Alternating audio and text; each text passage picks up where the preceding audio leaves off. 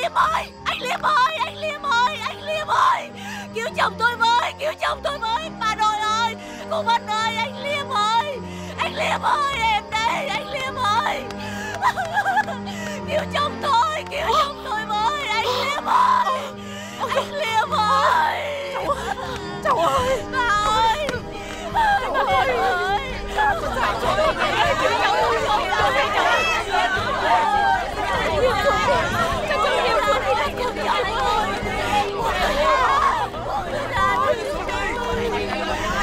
Liêm ơi Anh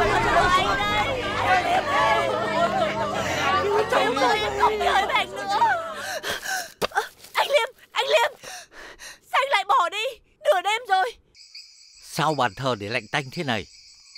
Làm gì thì cũng phải đốt hương cho chồng mày chứ. Nó vừa mới mất không lâu, mà để nguội lạnh thế này à? Vâng ạ, con xin lỗi.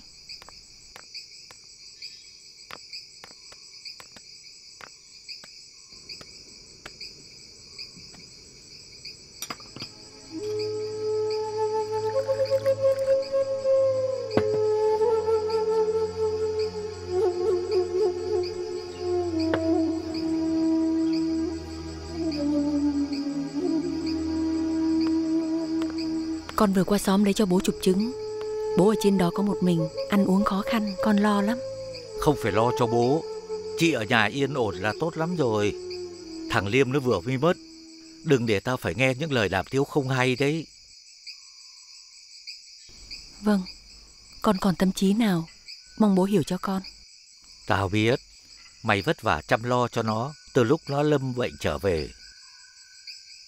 Cái thằng không biết vì đâu nên nỗi hả con. Đi ra vàng làm gì để lúc về điên điên dại dại. Đến nước phải treo cổ tự vẫn. Bỏ lại cái nhà này, bỏ cha già, vợ dại bà đi. Bác ạ Mẹ bảo em mang sang cho bác cân chè Để bác mang đi uống ạ Tôi định sang bên đó, nhưng mà bà bảo cô sang bên này rồi. Sẵn đây tôi dặn này, Dạ. Ở nhà hai thím cháu bảo ban nhau, chăm sóc bà và cháu Ngọc nhé. Dạ vâng ạ. Dạ em xin phép. Thắp cho anh cái ngọc nén hương ạ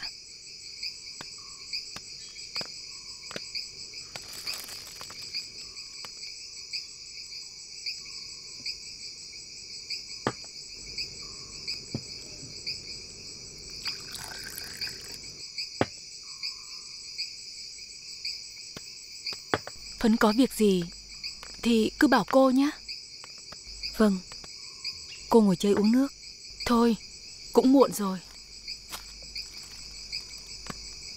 Dạ, em xin phép bác. Em về luôn ạ. Em về còn cho cháu Ngọc nó đi ngủ. Cái Ngọc nó lớn rồi, mà cứ dính chặt vào mẹ. Cô chiều chuộng quá đâm sinh hư đấy. Vâng, Mà thôi, cô cứ về trước đi. Tôi sắp xếp đồ đạc xong, sẽ sang sau. dạ vâng ạ. Phải cố lên phấn ạ. Phận đàn bà mình nó thế. Trông cháu xanh xao lắm. Cứ thế này mắc bệnh thì chết. Cô về nhé. Vâng ạ Em về bác ạ. Ờ,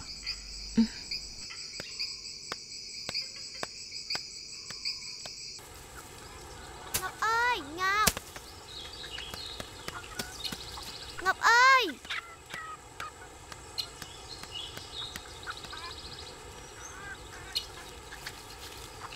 An Tớ chào Ngọc này Mẹ tớ mới đi chợ huyện về Mua cho tớ đấy.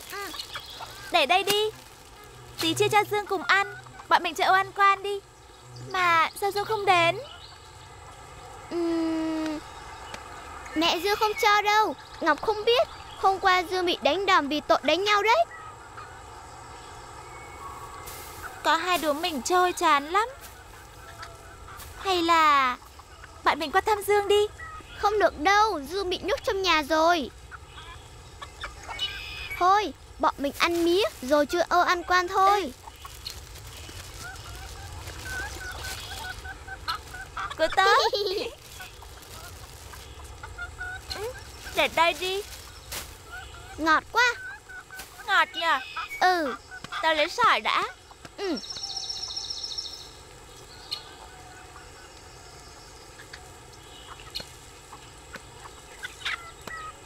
Ơ, ờ, chị Phấn kia Sao trông chị ấy buồn thế? Chị Phấn ơi, Chị đi đâu thế? Chị sao vậy? Chị Phấn ơi, Chị đi đâu thế?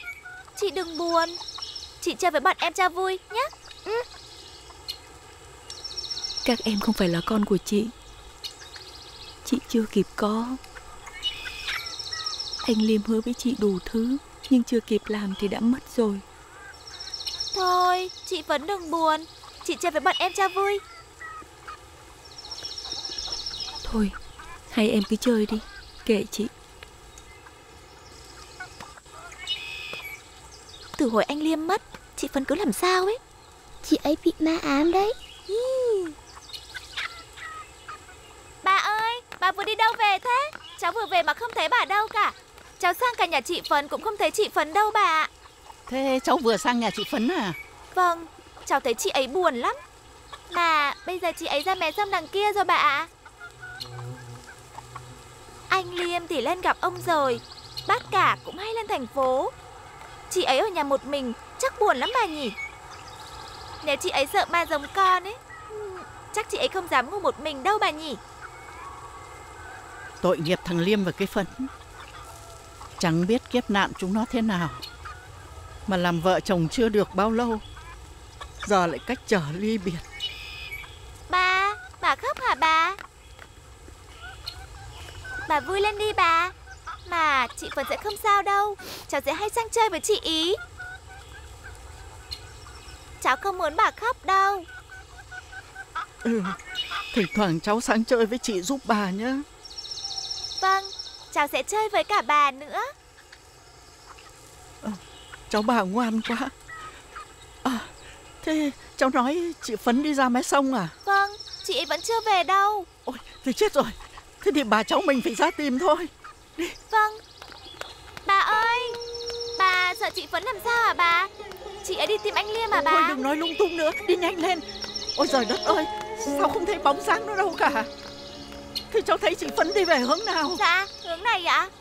Lúc đấy chị ấy rất buồn Nhưng chị ấy bảo là chị ấy không sao Nhưng mà sao không thấy nó đâu cả? Cháu ơi Cháu Cháu đứng đây Có thấy chị Phấn ra đây không? Cháu vừa mới ra câu bà ạ. Không thấy ai ở đây cả. Ừ Hôm nay sông vắng vẻ quá. Bà chỉ thợ chị Phấn làm liều. Mà cháu có thấy chị Phấn ra đây Cháu bảo chị về ngay hộ bà nhé. Vâng vâng Đi, bà đi về về đi nhà ạ. xem thế nào Đi. Vâng ạ. Lên. Bà ơi Bà sợ chị Phấn lên rời với anh Liêm hả bà? Đừng nói gỏ Chắc không có chuyện gì đâu. Mà có chuyện gì thì chắc mọi người cũng đã biết rồi. Có thể chị bận công việc Hoặc có khi chị về nhà rồi cũng nên. Đi về nhà nhanh lên. Vâng ạ.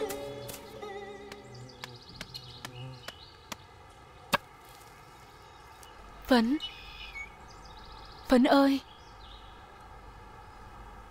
Cháu nghĩ gì Thì cứ nói với cô. Chứ cứ buồn mãi Sống thế này sao được? Số phận mình đã như thế rồi. Cố mà sống vui cháu ạ.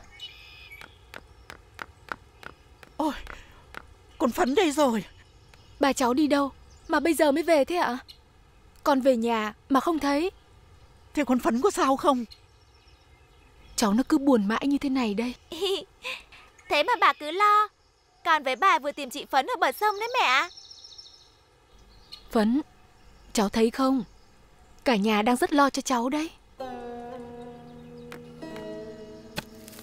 Ơn trời, Nó không sao. Đừng có nghĩ quẩn đấy cháu.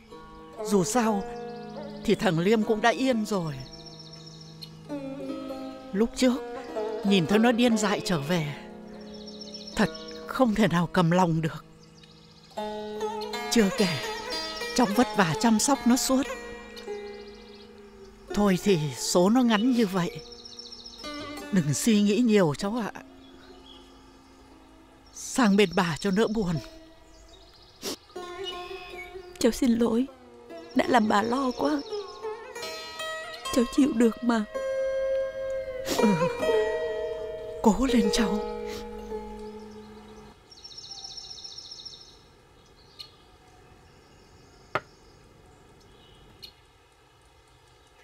Con Phấn đâu?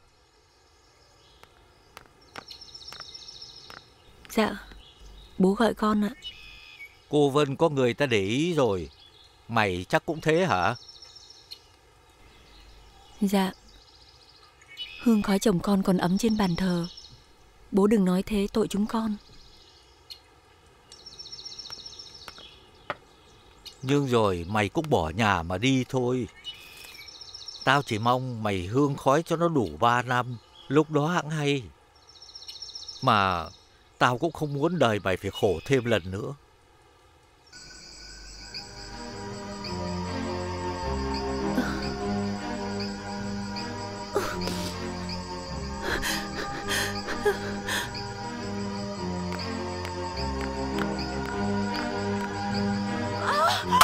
Anh Liêm ơi Anh Liêm ơi Anh Liêm ơi Anh Liêm ơi Cứu chồng tôi với Cứu chồng tôi với Bà nội ơi Cô Vân ơi Anh Liêm ơi Anh Liêm ơi Em đây Anh Liêm ơi Cứu chồng tôi Cứu chồng tôi với Anh Liêm ơi Anh Liêm ơi Cháu ơi Bà ơi Bà ơi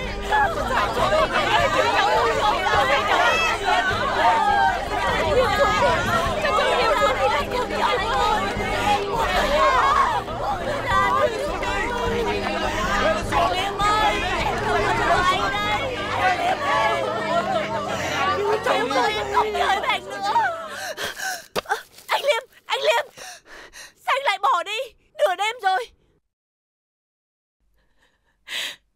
Anh đừng nghi oan cho em. Em không có ai cả.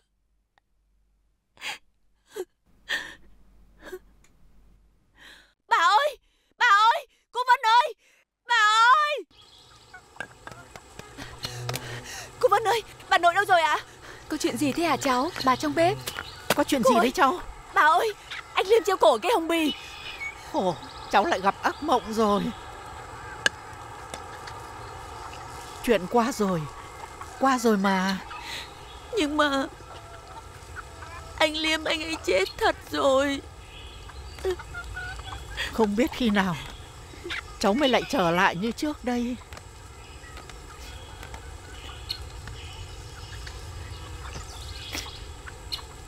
Hay là Ở trong cái nhà ấy nó bị ám? Mẹ Giờ tính sao hả mẹ Hay cho cái phấn về bên nhà mẹ đẻ nó ở tạm một thời gian cho nó tĩnh tâm lại. Chứ cứ sống như thế này Chịu sao nổi ạ? Thế nhưng mẹ lo thằng cả không đồng ý. Mà nó đi thì ai hương khói cho thằng Liêm? Cháu không muốn bỏ nhà cháu đâu. Chỉ là về nhà mẹ đẻ ở tạm cho định tâm lại. Thay đổi chỗ ở sẽ tốt hơn cho cháu. Chứ cứ sống ở đây Không thoát khỏi được sự ám ảnh Khổ đời Cháu còn trẻ Lại chưa có con cái gì cả. Ơ hay Sao lại nói chuyện trẻ với già ở đây? Dù thế nào Cũng phải nói với thằng cả một tiếng. Mẹ không quyết định được đâu. Chuyện dâu con nhà nó. Nếu vậy con lên huyện đánh điện cho bác cả biết. Nếu bác cả đồng ý Thì con sẽ thay phấn hương khói cho cháu Liêm vài tuần. Sao? Ý phấn thế nào? Dạ. Cháu không muốn gọi thầy Sợ thầy cháu phiền. Nhưng mà Cháu sợ Đêm ngủ trên chiếc giường anh Liêm. Để con thay quần áo Rồi con lên huyện luôn. Tiện thể con ghé vào nhà chú Đương có việc luôn mẹ ạ. Mẹ ơi, bà ơi.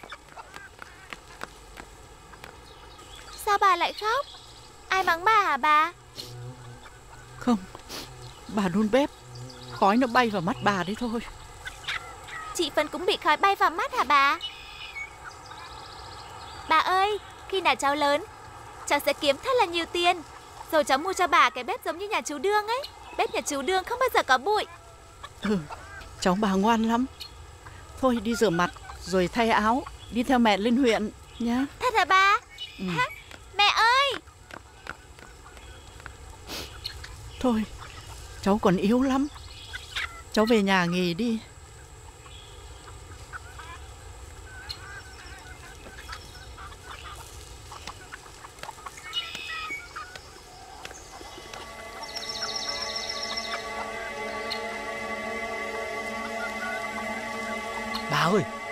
sẽ đan nơm bà. Cháu bà khéo tay quá. Vót cái nan cũng đẹp cơ. Cháu sẽ đan hai cái. Một cái cho thầy cháu, một cái cho cháu. Hai thầy cháu cùng đi bắt cá. Vui lắm bà. Thời cháu còn bé tí, cháu hay theo thầy cháu ra đồng.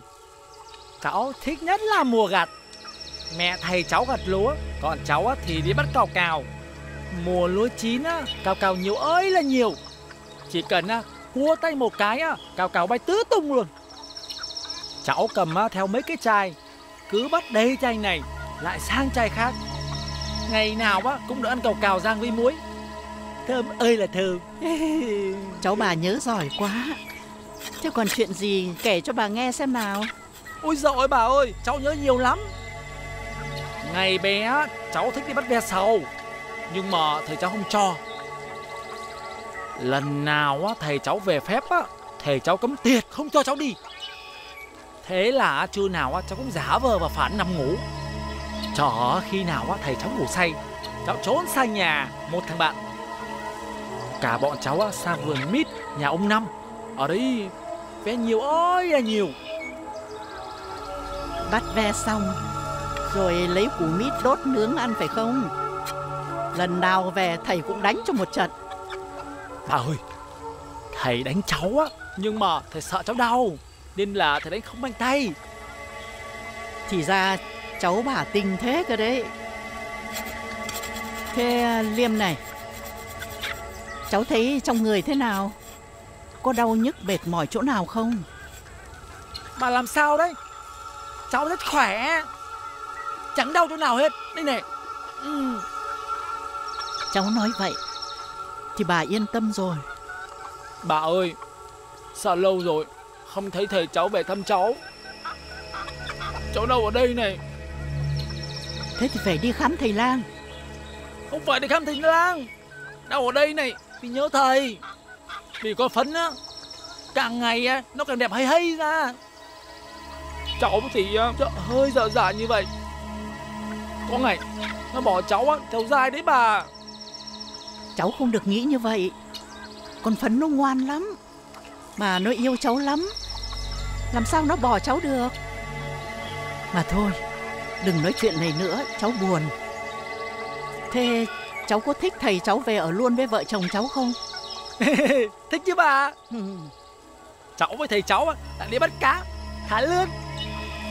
Có nhiều lươn, Con sẽ à làm gọi sọc mùng cho bà ăn. Ngon lắm bà. Chị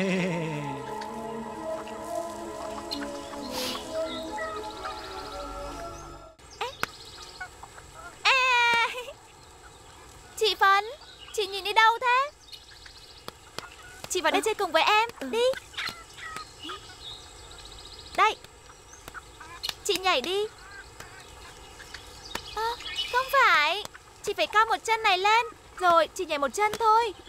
Nhá, chị nhảy đi em xem Thế này á? Đúng rồi, đúng rồi. Biết rồi.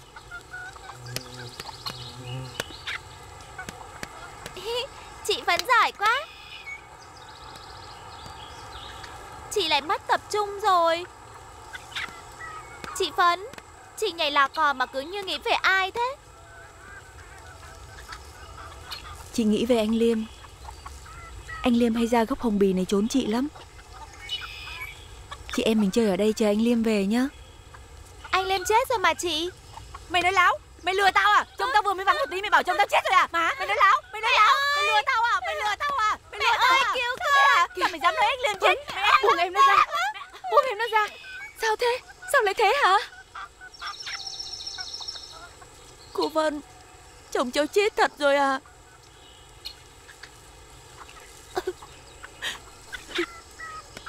Kìa Phấn. Phấn Phấn Cô Vân, Em Ngọc nói chồng cháu chết rồi. Anh ấy chết thật rồi sao? Cháu không tin. Cháu không tin. Cô, Cháu vào nhà nghỉ ngơi đi. Đừng nghĩ ngợi nhiều quá. Rồi mọi chuyện sẽ ổn cả thôi, Nhá. Ngọc, Con vào nhà đi. Con ở lại chơi với chị Phấn một tí. Chị ấy đang buồn mà mẹ. Sao con cứ cãi lời thế hả? Mẹ đã nói với con bao nhiêu lần rồi Không được cãi lời chị Phấn. Sao con không nghe lời mẹ? Con có cái chị Phấn đâu hả mẹ? Đấy Cạnh nhem nhèm đấy con gì nữa? Sao mẹ lại mắng con? Con chẳng làm gì cả. Mẹ chiều con nhiều Nên bây giờ con hư lắm. Con không nghe lời mẹ đúng không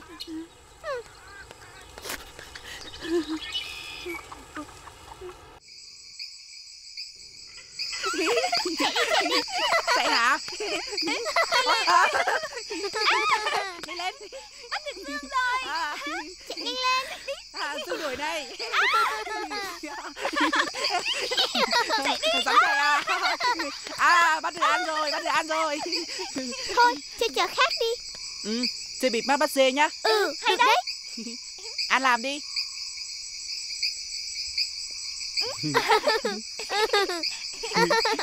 Buộc chặt vào. Ừ. Không rồi xong rồi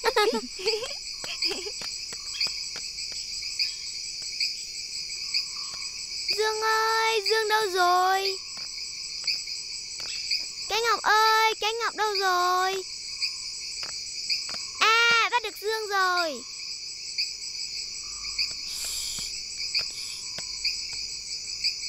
Các em không được làm ồn.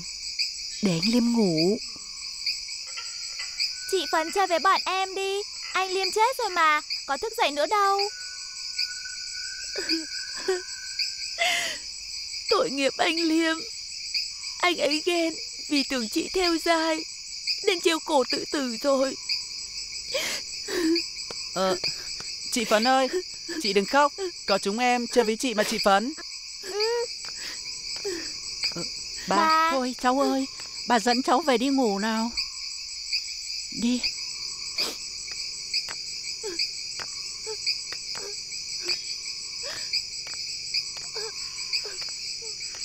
Mẹ không cho Ngọc gây ồn ở đây đâu Vì gây ồn sẽ làm phiền cho chị Phấn đấy Ừ Nhá Ừ. Đi Khẽ thôi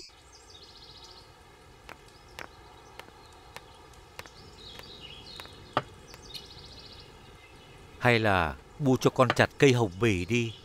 Nhìn thấy nó, con phấn nó ám ảnh. Cứ từ từ rồi nó sẽ khỏi. Nó bị sốc thôi.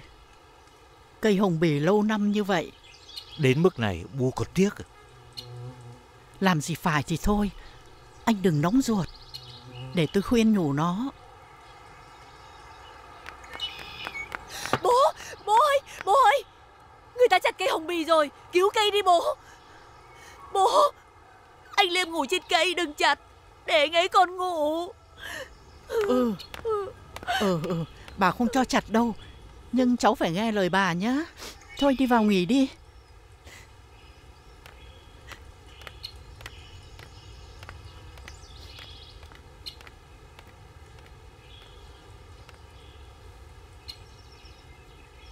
Hay là bu cho con đưa nó lên tỉnh. Nhưng cũng phiền phức lắm. Để xem thế nào đã. Nó đau khổ quá nên mới thế thôi. Anh đi cầu cúng chùa đi. Nhà mình còn nhiều chuyện không yên. Sao bu lại nói thế?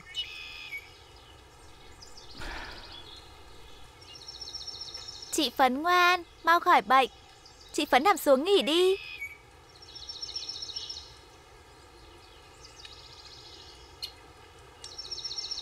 Chị Phấn ơi. Chị thương anh Liêm. Nhưng khi khỏi bệnh Chị vẫn đi lấy chồng phải không? Sao em lại hỏi như vậy? Em không biết. Mẹ nói mẹ rất yêu bố. Bố là bộ đội Nhưng mẹ cũng yêu bác Hưng. Cô Sen nói Mẹ sẽ lấy bác Hưng.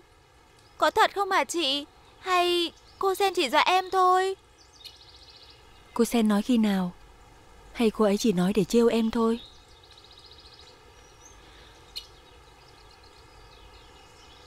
Chị thương anh Liêm lắm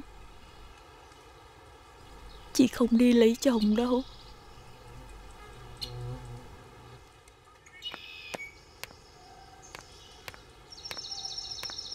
Con phấn đâu? Ra đây.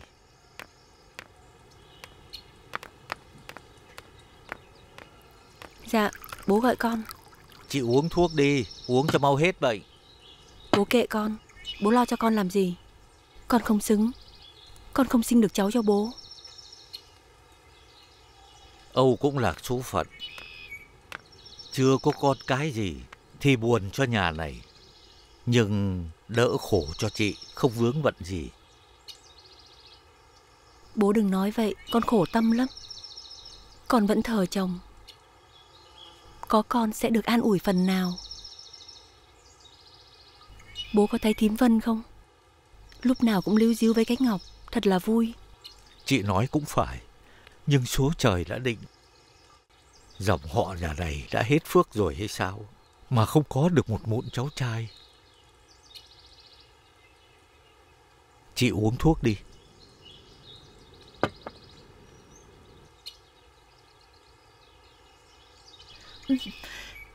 Đắng quá. Thuốc tốt đấy. Thuốc thảo dược trị an thần.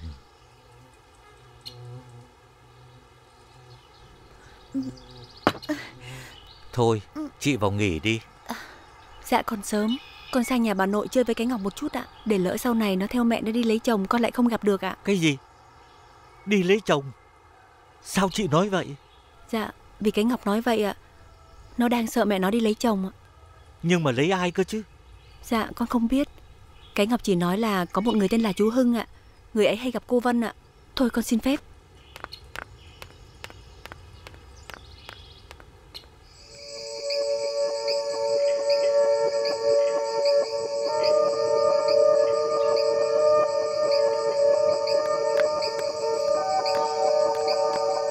Phấn, cô về muộn thế. Ngọc tự nhiên bị sốt. Thế à? Em sốt có cao không? Chắc bị cảm thôi ạ. Ngọc, ơi. May quá, sốt giảm rồi ạ. Chị mà không bận đi với người làng khác Thì con bé đâu đến nỗi sợ phát sốt lên như vậy? Con xin lỗi ạ. Chị không biết đâu. Lấy chồng khác Là con cái khổ Rổ giá cặp lại Thì có vui gì chứ? Rồi lại con anh, con em, con chúng mình. Chị đã tính tới nước đó chưa? Dạ, con... Con thật khó nói. Con cũng đã cố thoát ra Nhưng... Con mới có 30 tuổi. Mẹ... Mẹ thông cảm cho con. Anh Hưng thương con Rồi sẽ thương Ngọc thôi ạ. à.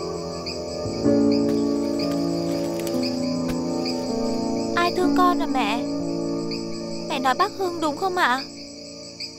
Con dậy rồi à? Lại đây mẹ bế nào.